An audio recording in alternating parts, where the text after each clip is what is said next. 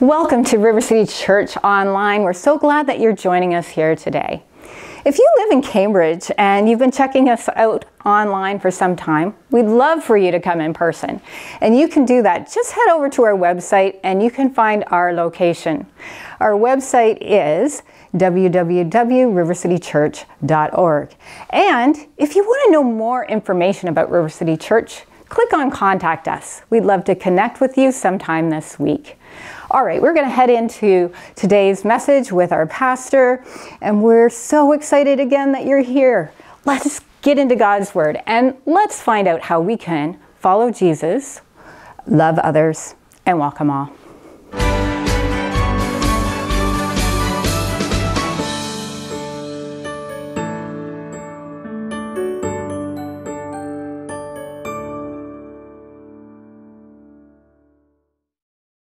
Discover, connect, and grow with River City Church. Today's guest speaker is Nick Kuipery. I've come to know Pastor Daryl over the last couple years pretty good, and we, we just seem to hit it off well. So I was delighted when he invited me to, to, uh, to come and share what God has put on my heart. And um, yeah, it, the, the sermon title is The Best Offense is a Good Defense. Oftentimes that's related to sport. I often relate things to sport but really, it's got to do with the traps that Satan puts out to try and lure us away from God. Satan is on a mission to get back at God. He doesn't like God, so he wants to trap us and lure us away from what is most precious to God, and that is us. So I'm going to start with a reading of Psalm 124. Psalm 124.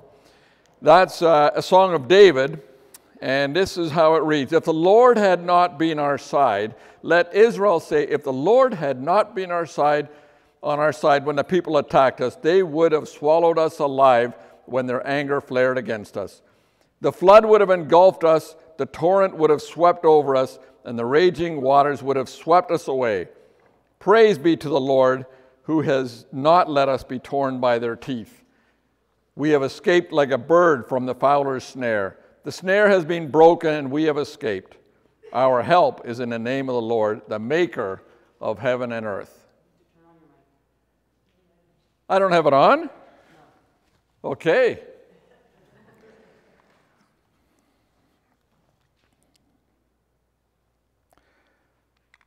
There we go.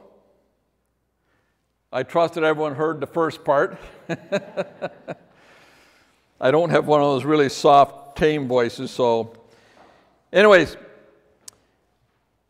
every New Year's, a lot of people are in the habit of uh, making New Year's resolutions.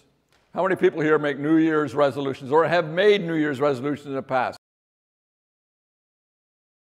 You get a bit older.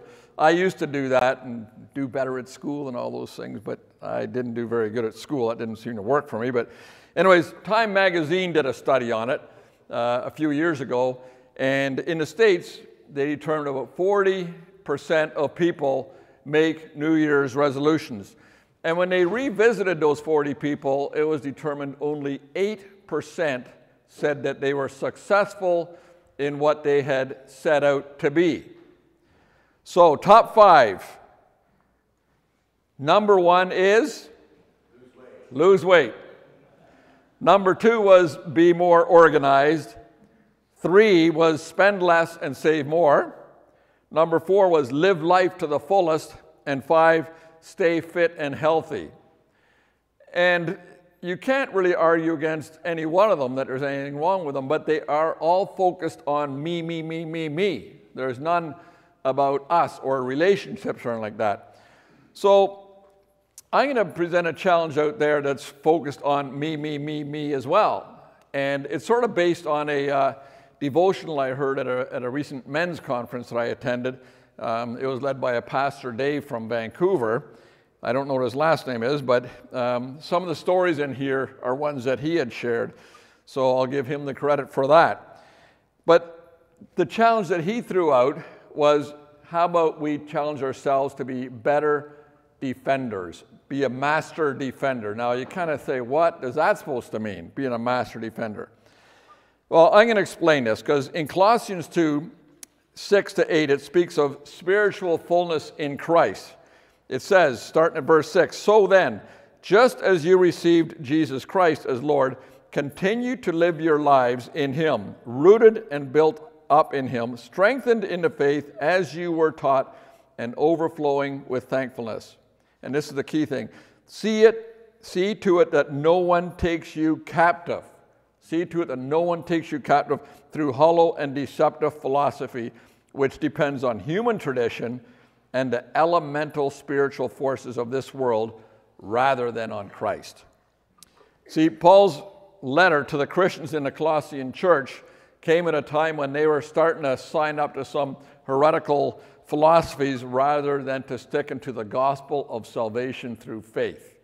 Now, to be fair to the Colossian church, they didn't have the Bible to always refer back to. So it was important that the apostles, like Paul, would visit there regularly and write to them, critiquing what, what they were going through as a church and kind of getting them back on the, on the right path. So he's warning them don't get caught up in these heretical philosophies. They are not from God, they are from the enemy.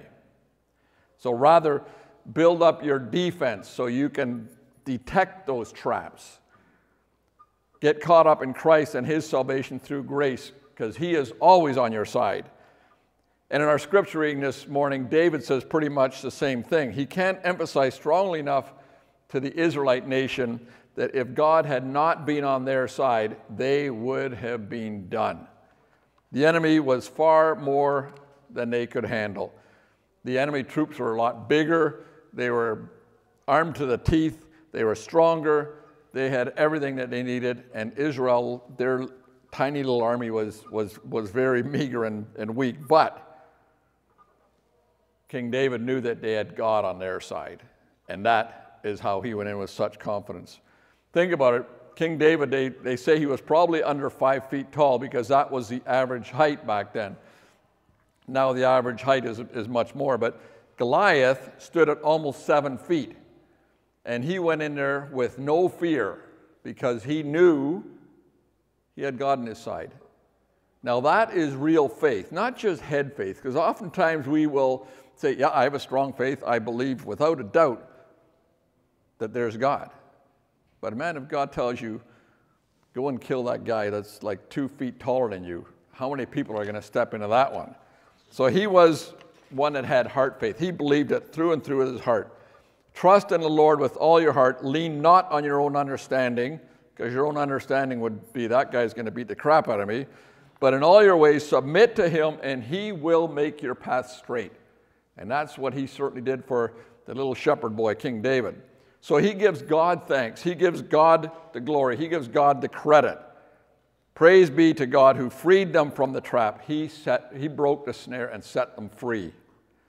He was, is, and always will be more powerful than any trap.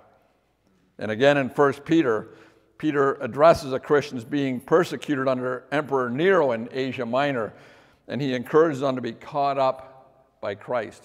He encourages them got caught up by Christ, but warns them that Satan is always prowling around, seeking to devour somebody. And in today's world, things are no different. Satan is still prowling around, seeking to devour somebody. We as Christians have a relationship with Christ, but Satan is still always prowling around, seeking those opportunities when He can devour you, when He can throw chaos into your life.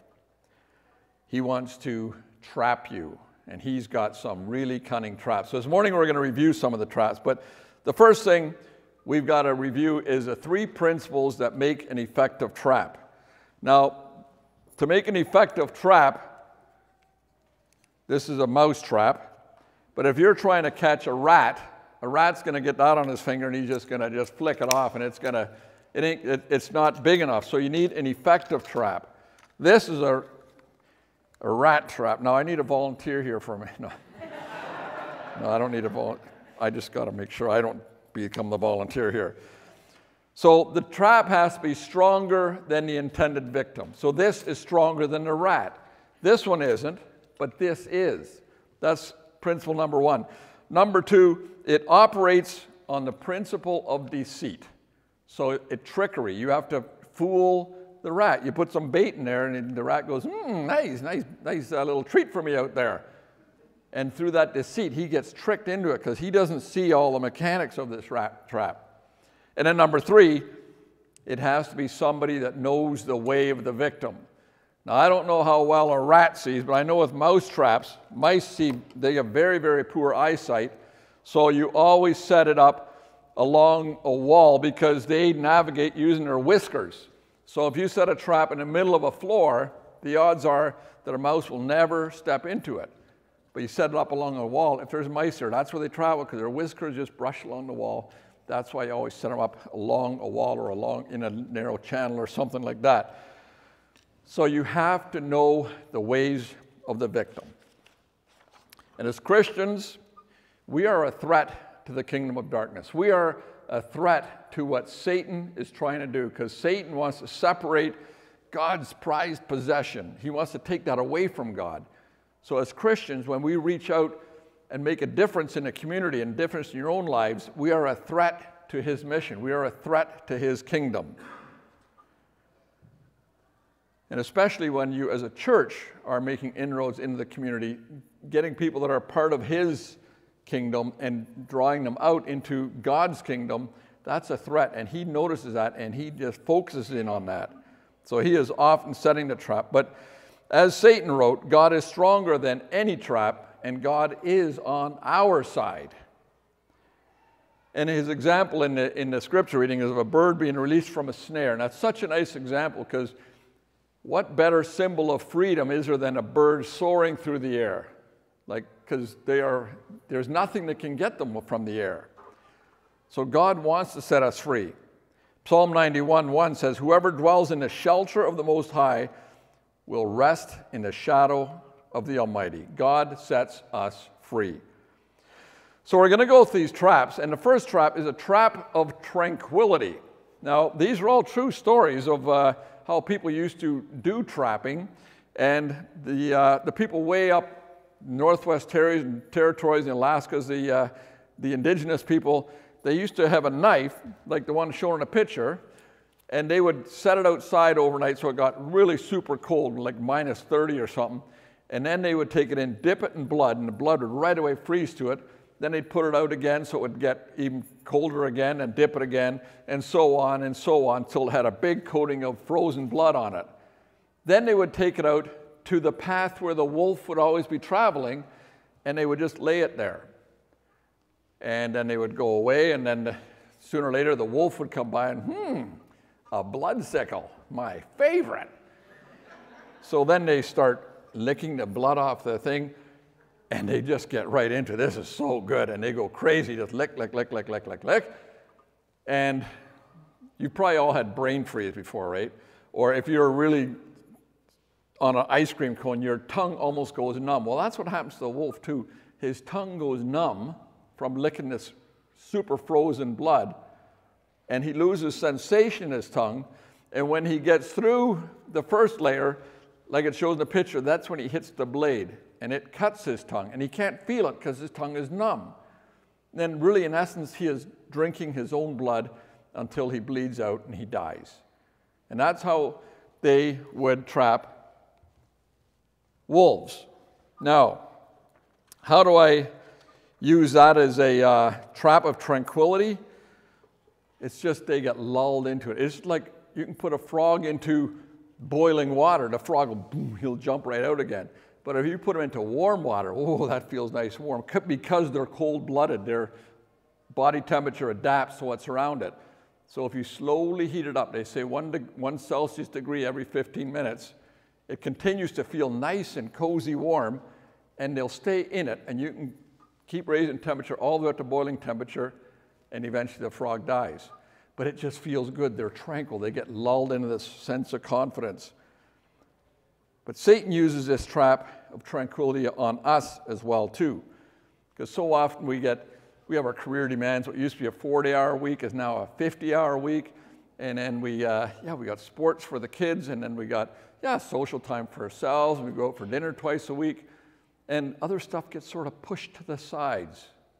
And it sort of gets, we get sort of numb to it. And we put off the more important spiritual disciplines.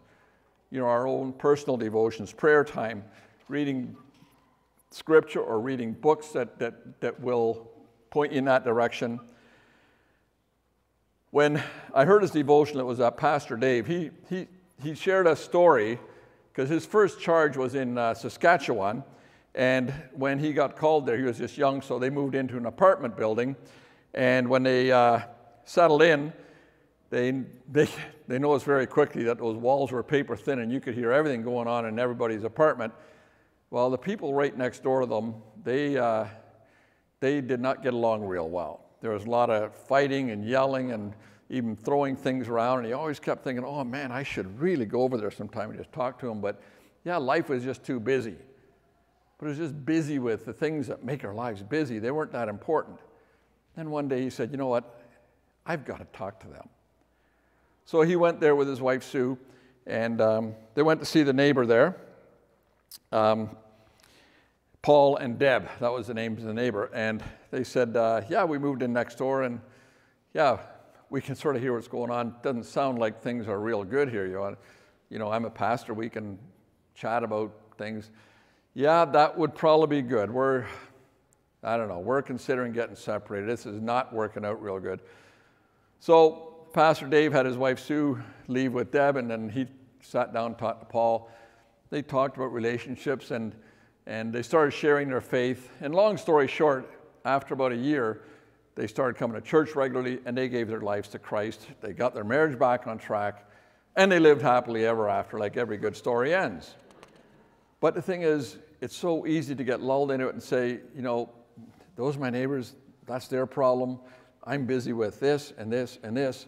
And you leave God's kingdom work, you leave it be. But he stole these people from Satan's kingdom of darkness, brought them into God's kingdom. Next, I have the trap of trends. And this is another one that the First Nations used for, for hunting, so to speak, and it was for catching ducks. What they would do if there was a flock of ducks, it is a flock of ducks, right? Or is it a, it's not a herd. I, I'm going to go with flock. In the river, they would go upstream of where the ducks were, and they'd fire a pumpkin into the river. So this pumpkin would just come bobbing down the river, and all of a sudden the ducks go, Whoa, big orange monster! Wah! So they would fly high into the tree and watch this thing just float by harmlessly. Okay, that wasn't so bad. Next day, same time, same thing.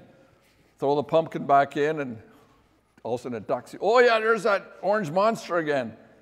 So they quickly fly to shore. Next day, here comes that orange thing again. I will just swim off to the side. After about a week, they didn't even bat an eye. It's just that orange thing just floated on by. Then the next day, they would carve out the bottom and they would be, have their head in it, and then they would be swimming with this on their head right past the duck, and then from underwater, they could grab the ducks. That's how they would trap them. But how is that a trap for us? Things happen in this world and they repeat, repeat, repeat, repeat until we get used to it. The things we see on movies now, or how easy gambling is to do online on your, on your phone during a game, um, language on the street, stuff that gets taught in schools. If that happened 50 years ago in one shot, there would have been a huge outcry. This cannot be, this cannot happen. But they just slowly lull you into accepting it. They slowly lull you into accepting it. But the good news is God is more powerful and He can set us free from those traps, but we have to recognize those traps. Then I got the trap of treasure. For that, we go to Southeast Asia, where monkeys are plentiful. And it is widely accepted that the rhesus monkey is the smartest monkey there is. Now, the rhesus monkey has got one glaring weakness, and it causes the monkey a lot of trouble. But they have such a love for bananas that once they get a banana in their hand, they will not let go. So they set traps similar to this, but it's attached down so the monkey can't run off with the trap. It's attached like this, and once they got the banana, then the people that are trying to catch the monkey will run out, and he won't let go, but he can't get his hand out because it's around the banana, and then he just catch the monkey. So, how can that be a trap for us? Well, Matthew 6 21 says, Where your treasure is, there your heart will be also. And Mark 8 36, What would it profit a man if he gains the whole world but loses his soul?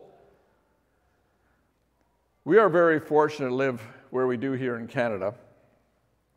We are very much blessed. And having great financial resources can be a real blessing because we can do great works with them, but it can also be a real curse. It can also be a real curse. It's a potential for a very effective trap for Satan.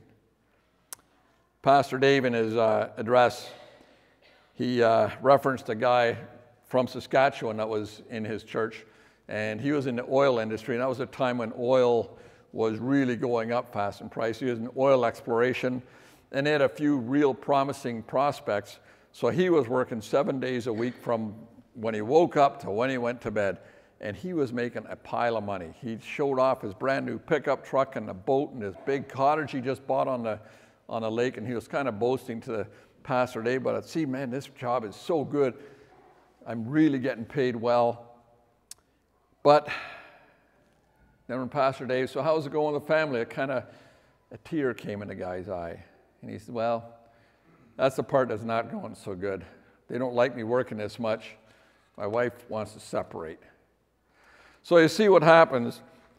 Our world would say that he hasn't made.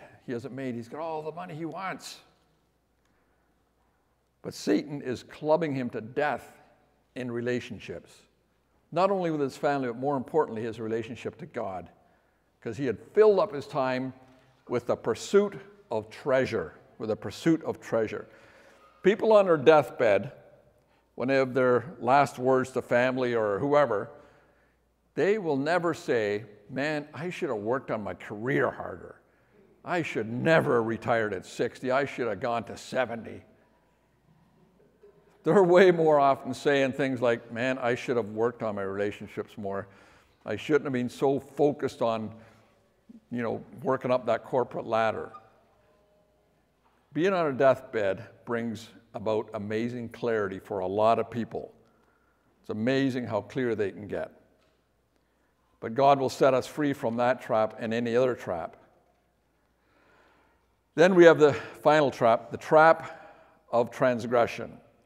It's a bit different, but it's very, very deadly. It holds a victim in bondage of past sins and transgressions. Now, I'm going to first share the story about A.J. Gordon, Dr. A.J. Gordon. He was uh, lived just over 100 years ago, and he was a Baptist preacher. He was a professor, a theologian. He had even um, started a theological seminary, and he was uh, very much in demand for preaching and his professor stuff. But that, saw, that found him behind a desk a lot. And as is the case with a lot of professional people, that's not me at all. I always worked out in the field in construction, heavy construction. But for people that work behind a desk, they seem to want to just, for a break, they just want to work physically, work hard and something brain dead. Uh, so this Dr. A.J. Gordon, he loved to work in his garden. Didn't take much brain thought, but he could just work and just, it was food for the mind, just sort of just relax, chill a bit. So every day he'd work for half an hour in the garden or so. So the one day, he's out gardening and he noticed in a, in a field behind, uh, behind his garden this little boy walking out of the, out of the forest and he's got, he's got this uh, bird cage in hand and he sees something in there. So he says, hey there, young fellow, what do you got there? He says, well, I set a trap and I caught me a sparrow. A sparrow, you say. What are you going to do with them? Ah, I don't know. I might feed them to my cat. So Dr. Gordon, being a real bird lover, like bird watching, he just loved birds. They were always in his garden and stuff. He says, oh my goodness. He says, you can't feed him to your cat. He says, well, he's mine. I caught him. So I mean, it's just a sparrow. It's not like a falcon or an eagle or something. Yeah, it's still a bird, though, goes A.J. Gordon. Tell you what, I'll give you five bucks for him. The kid says, Five bucks? And this is like 100 years ago when it was like offering 200 bucks would be now. So he says, You're nuts. But if you want to part with it, five bucks, I'll gladly take it. You can have the cage too. So the boy skips off with an extra spring in his step, really delighted in his newfound wealth. And Dr. Gordon, he, uh, he, he, he sets a cage on a, on a table in the garden and he opens the door.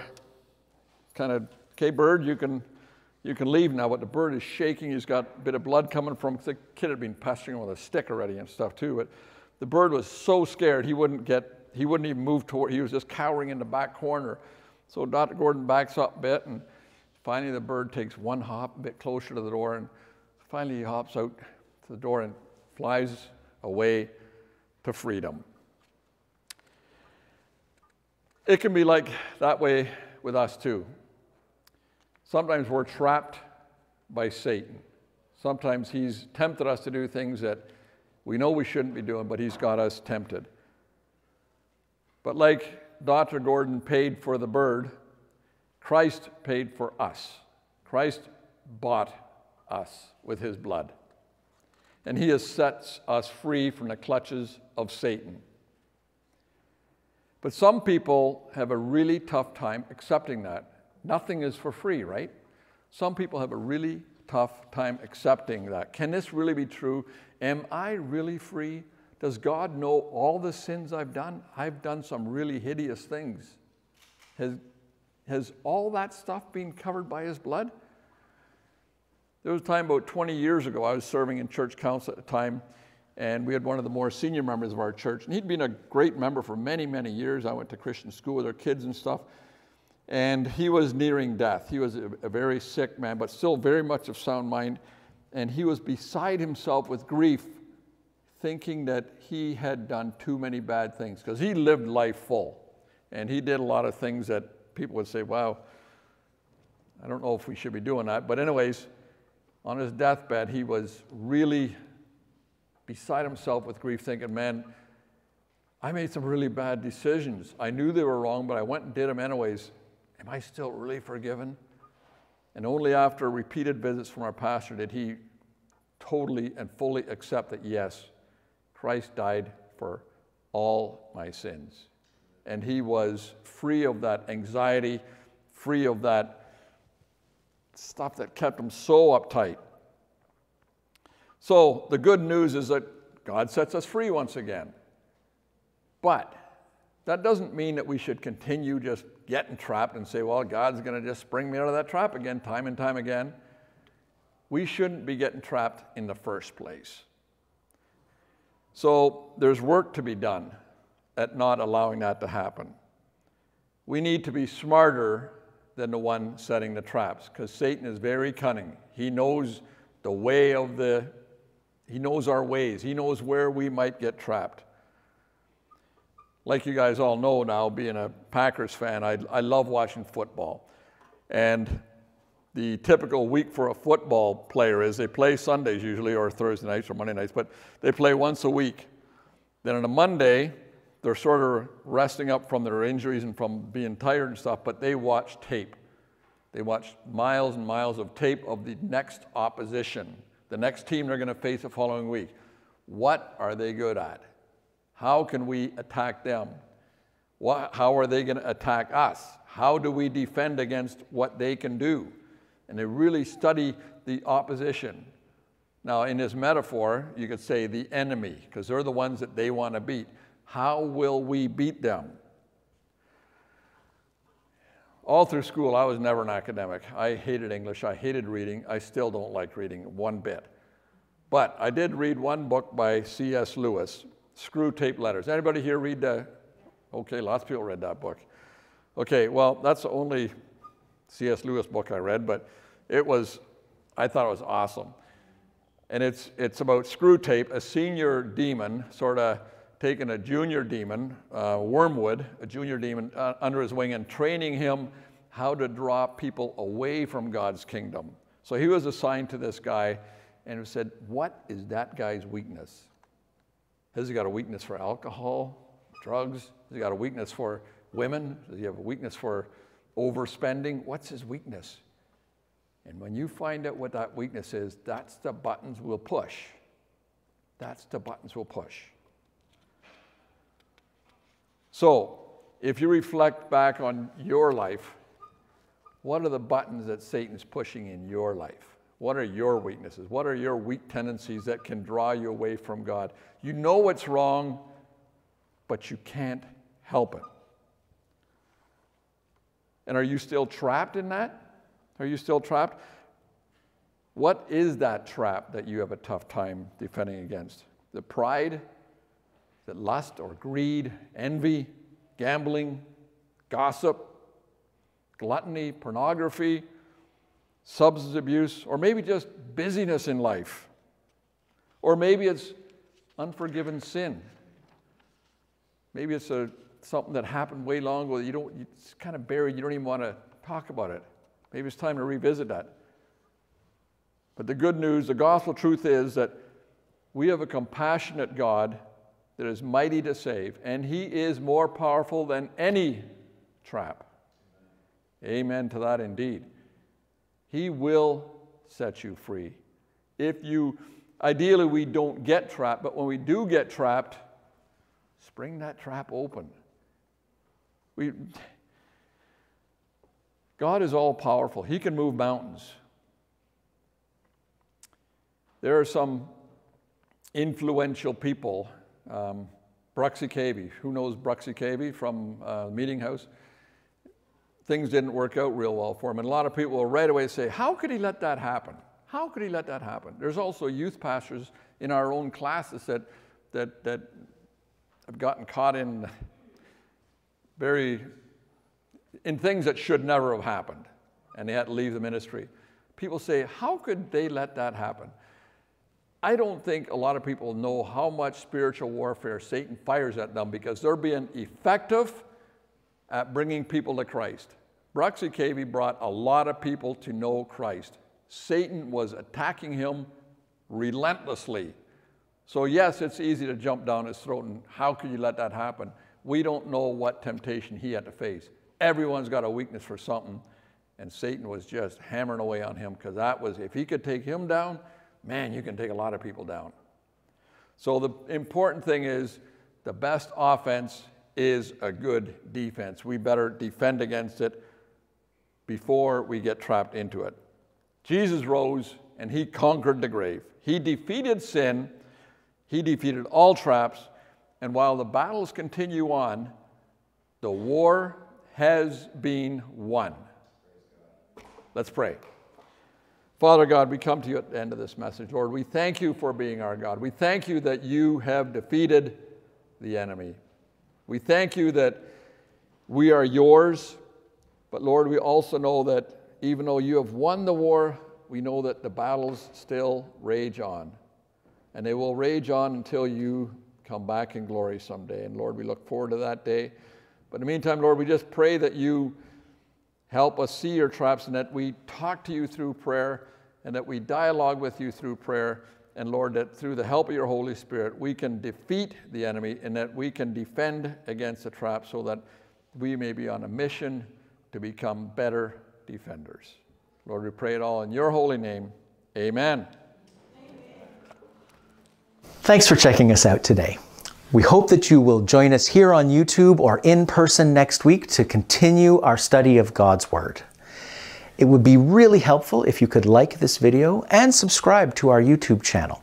Subscribing is one of the best ways to stay connected with our church as we journey together in our study of God's Word and growing to be more like Jesus Christ. If you have questions about your faith, please go to our website, rivercitychurch.org, and click on the Contact Us tab. We would love to hear from you and learn how we can serve you better. We exist in this community because of generous support from donors like you. If you would like to support this ministry because you were blessed by what you heard today, please go to our website, rivercitychurch.org, and click on the Giving tab. There'll be all kinds of options there for you where you can give to support our ministry in Cambridge, Ontario. Have a great week. I hope that God surprises you with his love today and every day. Thanks for watching.